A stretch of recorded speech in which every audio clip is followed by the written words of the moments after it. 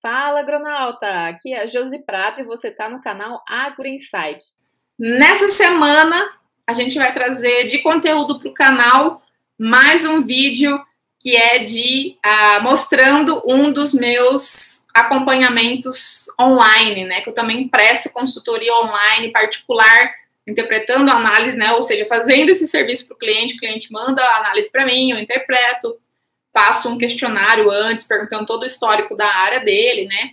Pego análise de solo, uh, faço recomendação, vejo, confiro com ele se está batendo, ele me manda uma lista dos fertilizantes que ele tem disponíveis na região lá, eu faço o cálculo de custo-benefício, indicando qual que é o melhor custo-benefício para ele adquirir, e ganha também como bônus uma interpretação de análise foliar. Então, eu faço esse serviço para esse serviço de consultoria, ah, sinceramente, não sei até quando eu vou fazer isso, porque é uma coisa que tem muito tempo. Quero ensinar as pessoas a fazerem isso. Eu não quero viver disso, né? Apesar de gostar bastante, mas eu, eu tenho mais prazer em ensinar as pessoas a fazer isso do que eu mesma fazer. Então, não sei até quando eu vou fazer isso, mas eu tenho alguns exemplos aí gravados desses atendimentos online. Fique aí para conferir logo depois da vinheta.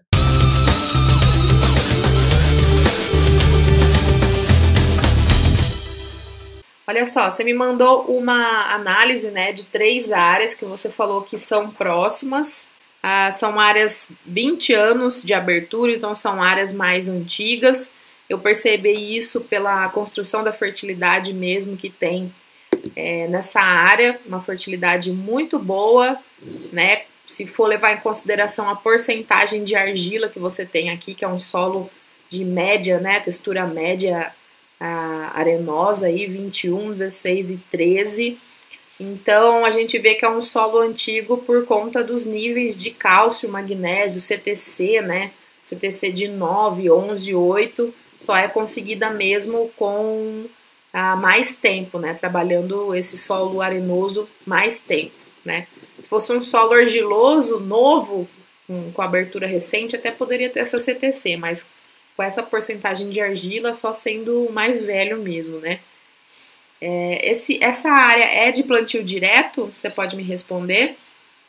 Se é de plantio direto, se tem muito tempo que faz plantio direto ou se não. Ah, ótimo. É, a gente logo percebe mesmo que é uma área ah, de plantio direto. Bom, é o seguinte, eu estava vendo aqui, a gente, eu sempre Gosto de começar então pela, pela textura, né, que a gente viu aqui, que é uma textura média é, arenosa. O pH, ele também ele tá dentro de uma faixa uh, adequada, né? Peraí que eu coloquei, eu coloquei trocado aqui. Você viu que eu passei as, descri as descrições da análise aqui para planilha, né? E eu não tinha colocado a matéria orgânica aqui, ó. 2.3, 2.6, 2.1, uma porcentagem boa para essa para essa textura que ele tem, tá? Então, vendo aqui os níveis individuais de cálcio, magnésio e potássio, eles estão muito bons, né? Começando por uma adubação de correção aí, não, não vai ser, eu vejo que não vai ser necessário fazer uma adubação de correção. Esse solo aqui você pode já trabalhar só com o que a cultura exporta, né? Não tem necessidade realmente de mais de correção. E se ele é plantio direto, pelo jeito fizeram o, a construção do plantio direto bem adequadamente, né, para chegar nesses níveis e depois poder se preocupar só com a exportação. O fósforo, ele tá. Você falou que a análise é de 0 a 20, né? Então, os níveis também mais do que bons para essa camada, né? 42, 56, 110, são todos níveis alto, altos de fósforo. Não precisa mais colocar para corrigir fósforo, né? Poderia fazer para a próxima safra uma análise, uma amostragem de perfil para a gente ver como é que está esse perfil abaixo de 40 centímetros, né? De, de lá, lá, dos 20 a 40 e até uh, um pouco mais para a gente dar uma investigada para ver se teria alguma coisa a acrescentar, mas só com a camada de 0 a 20 não precisa realmente de correção é, de nenhum desses elementos, nem cálcio, magnésio, potássio, nem fósforo. Ah, partindo para cálcio, eu fiz aqui, na análise não veio, mas eu fiz aqui a, a, porcentagem dele em relação a CTC, né? Você vê que a, a participação dele também está bem boa, né? Contando com a textura do solo que é média, ó, uma participação acima de 40 já é muito bom. Então a gente tem aqui a primeira área com 48,8, a segunda com 40,8. Eu coloquei na sequência da, da análise que você me mandou, tá? Então, ó, participação do cálcio na CTC tá muito boa, acima de 40. Magnésio também acima de 10, né? De 10 a 20 é a faixa ideal aí. Você vê que ele também tá dentro da faixa. Até passando um pouquinho aqui na primeira área, né? É, 17, uma média muito boa, 13. Ah, potássio, que a faixa ideal é de 3 a 5. Nas três áreas também tá passando já a faixa, então a participação do potássio também é excelente, né? Até tomar um pouquinho de cuidado para não passar muito disso, porque pode desequilibrar um pouco a absorção de cálcio e magnésio. Então, no caso do potássio, até a gente poderia até pensar em trabalhar com uma meia dosagem nessa safra, tá? Caso o produtor não tiver ah, recurso para colocar a dose cheia, até poderia nessa safra só trabalhar com meia dose, porque realmente a participação dele tá, tá bem grande na CTC tá? Mas a gente vai ver aqui mais, mais pra frente agora na, na recomendação, na sequência, tá? Uh, B% para soja também tá, tá muito bom, né? Se quisesse colocar alguma coisa de calcário para aumentar um pouco a saturação para 80, uh, a gente pode fazer uma simulação aqui embaixo. Mas essa saturação já é suficiente para uma boa produtividade, até é, acima de, de 70 sacos, tá? Mas a gente pode fazer a simulação aqui, colocando a saturação para 80 para ver quanto que pede de calcário. Aí aqui, ó, você pode ver que eu pus então os dados da, da análise, né? Já transformei o potássio para centimol, porque aqui no, na sua análise veio em miligrama. Ah, de alumínio, Tá bem pouco também, não vai. Você vê que o M%, né, que a saturação por alumínio aqui tá 2,7, 3,7, e a gente começa a se preocupar quando tá acima de 10, né? E aí, outra coisa que a gente pode ver também é na subsuperfície. Então, se quiser fazer uma amostragem mais embaixo de é, 20 a 40, até um pouco mais embaixo, para ver se tem algum impedimento químico mais profundamente, também seria uma, uma boa. Mas por enquanto, 0 a 20 tá ok, não precisa se preocupar com isso, né? Uh, então, adubação de correção não é necessária nessa área. Como você falou aí, plantio direto, trabalha com adubação orgânica, esterco, então excelente. Senti falta nessa análise de, da, do teor de enxofre, não veio teor de enxofre aqui, tá? Então, nas próximas é bom a gente dar uma verificada.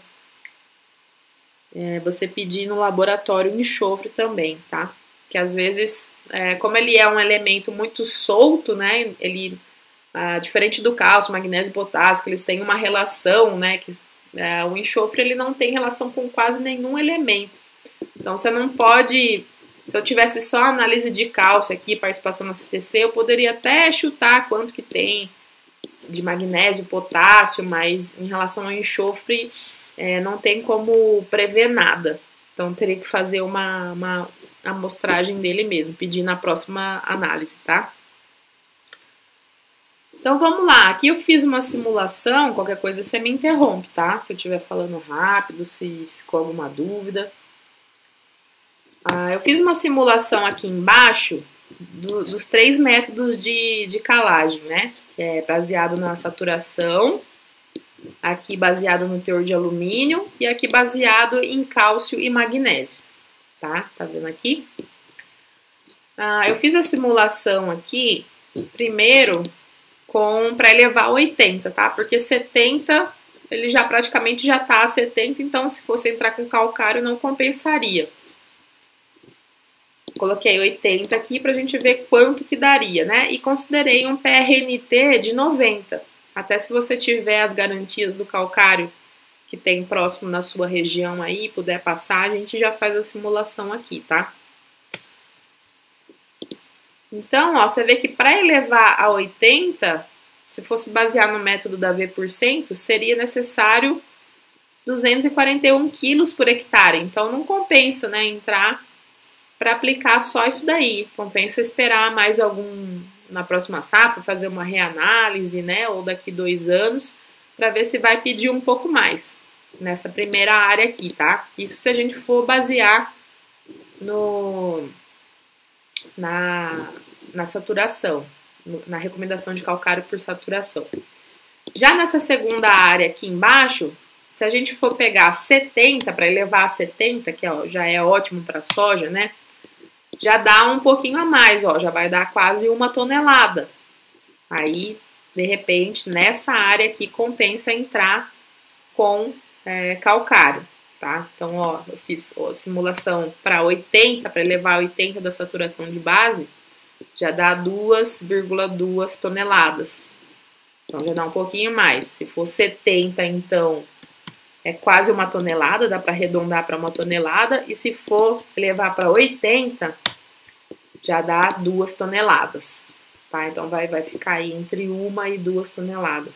E na terceira área, também, ó, se for pegar 70, vai dar 500 quilos, daí né, realmente também não compensa. E se for entrar para elevar 80, vai ficar 1,4 toneladas, tá? Então, é, poderia arredondar aí para é, uma tonelada e meia, né?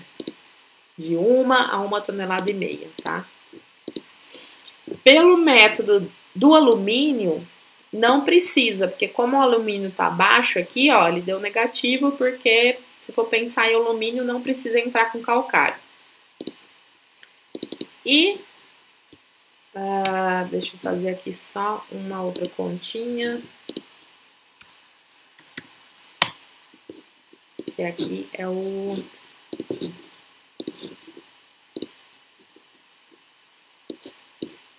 Ó, aqui a simulação de calagem para elevar o teor de cálcio a 50% da CTC, tá? Quanto que precisa de, essa aqui é, é toneladas por hectare de óxido de cálcio, esse 0,616, tá? Essa, essa, essa linha, essa coluna aqui. E esse total, aí eu já transformei ah, para a área toda, né? Quanto de óxido de cálcio precisa para os 60 hectares. Você me falou que cada área tem 20 hectares, é isso mesmo? E aí, eu peguei, simulei um calcário que tivesse 40% de óxido de cálcio, um calcário calcítico, porque o nível de magnésio aqui, ele tá bem bom, né? Ele tá passando aí de, de a média dos dois primeiros aí de 15, então é, eu considerei que se fosse entrar com calcário, seria um calcário calcítico teria 40%. Depois você pode me passar a garantia é, do calcário que tem na sua região. É a soma das três? Ah, 20 hectares é a soma das três. Nossa, então vai menos ainda aqui. Deixa eu corrigir. Aqui, ó, voltando. Se você tiver, então, um calcário calcítico com 40% de óxido de cálcio, daria 800 quilos por hectare. Aí sim, aí já é uma quantidade razoável se quiser entrar para elevar cálcio a 50% da CTC, tá? O que já bate aqui também com a média aqui da, da saturação, né? E se for pensar em magnésio, vamos ver aqui,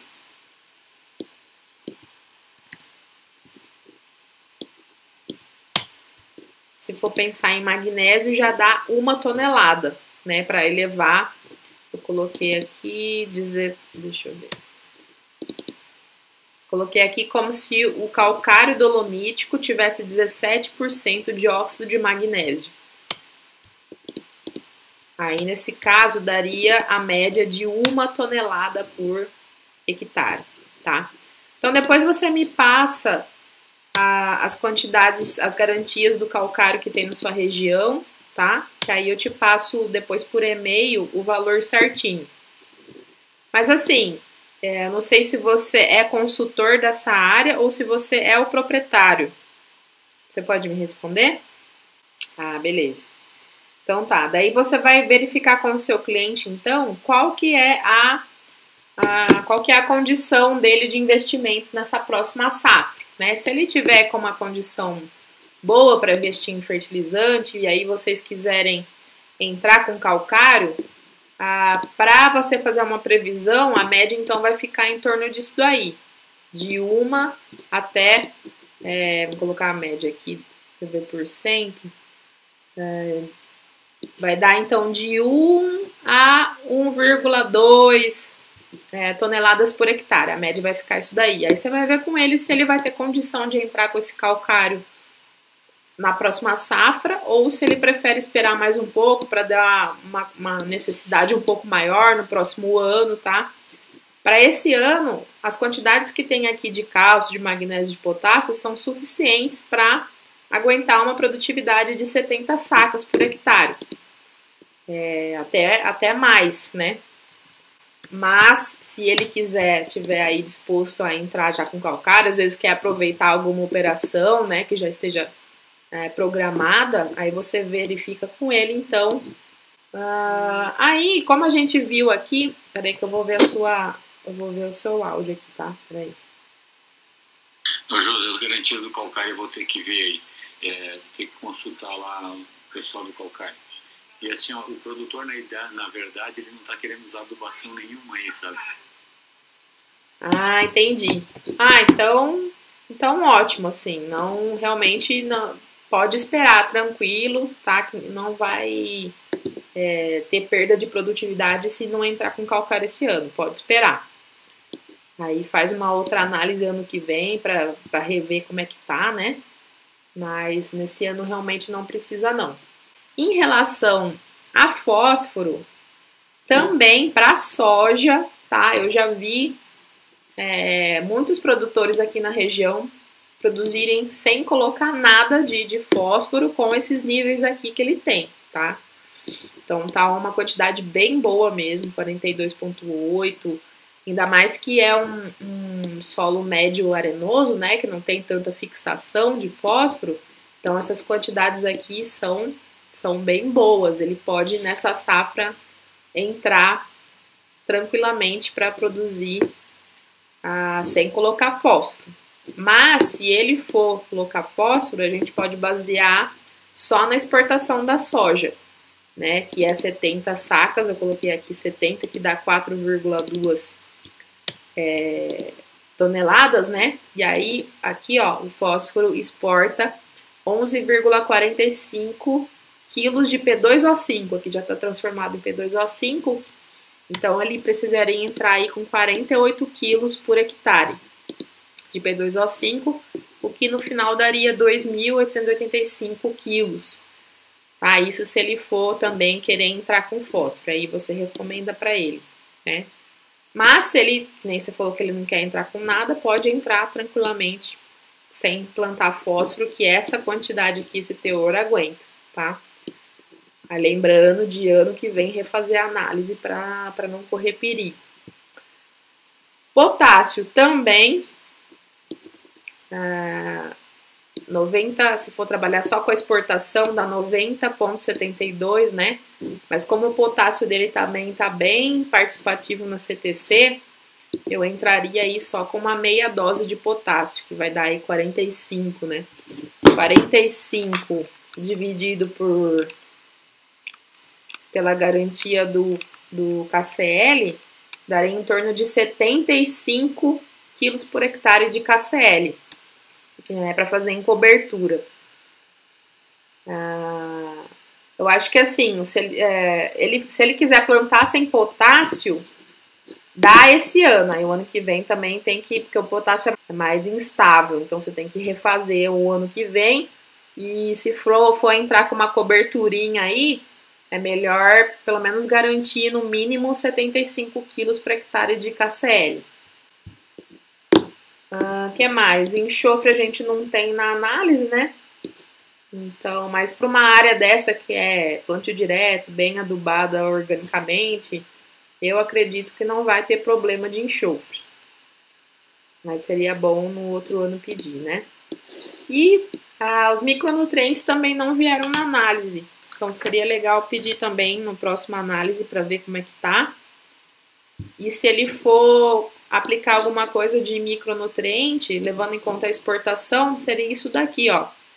100, cerca de 100 gramas por hectare de boro, arredondando 55 de cobre, 139 gramas de manganês, 102 de molibdênio e arredondando 160 de zinco. Pode arredondar para 160 gramas por hectare. Ah, você veja com ele o que, que ele faz de adubação foliar, né? Se ele aplica, aplica alguma coisa de adubação foliar. Ah, e ver se as garantias do que ele aplica lá são suficientes para garantir isso daqui, né? 101 de boro, 55 de cobre, 139 e 140 de manganês, 100 de molibdênio e 160 de zinco. Tá? Depois eu te passo por e-mail também essas quantidades.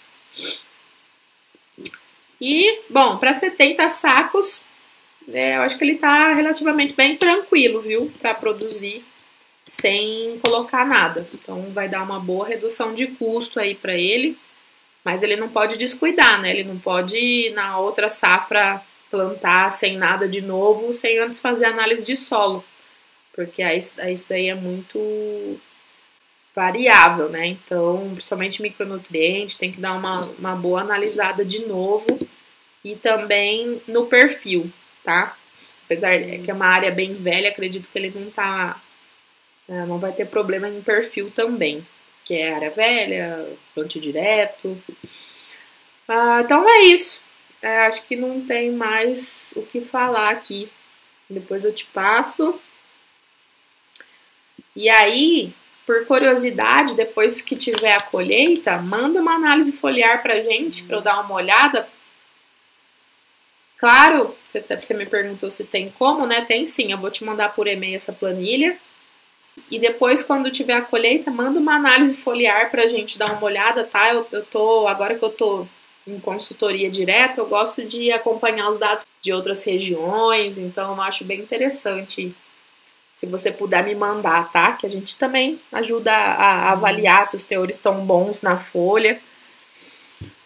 Beleza? Então acho que é isso. É, mando parabéns para o seu cliente aí, uma área muito boa, tá? É, e qualquer dúvida você pode me mandar por e-mail. E em relação ao curso também, né, da plataforma lá, qualquer dúvida você me manda, tá bom? Você tem mais alguma dúvida? Vou ver o seu, vou ver o seu áudio aqui. Não, tranquilo, vou, vou com essa, elaborei até o final e daí eu faço essa análise foliar e te mando aí tranquilo, sem problema. Joia, fechou então. Eu vi que você é um dos que acompanha aí a gente desde o começo, né? Desde o comecinho do canal, eu sempre vejo comentário seu aí, participando. Eu vi que você tentou entrar na primeira turma e não conseguiu, né? Muito obrigada, viu, pela, pelo acompanhamento, por participar. Não, Josi, tranquilo, obrigadão. Ficou bem esclarecido, assim, mais ou menos no, na linha de pensamento que eu estava tendo aí, tá? Obrigadão. É, e qualquer dúvida eu entro em contato contigo, beleza? Muito obrigado. Show, beleza. Vou fechar a transmissão aqui, tá? E você já sabe, esse canal é novo, então se inscreva, compartilha, dá um like para ajudar que esse conteúdo chegue a mais pessoas e fique ligado que toda semana tem vídeo novo por aqui. Até a próxima e tchau, tchau!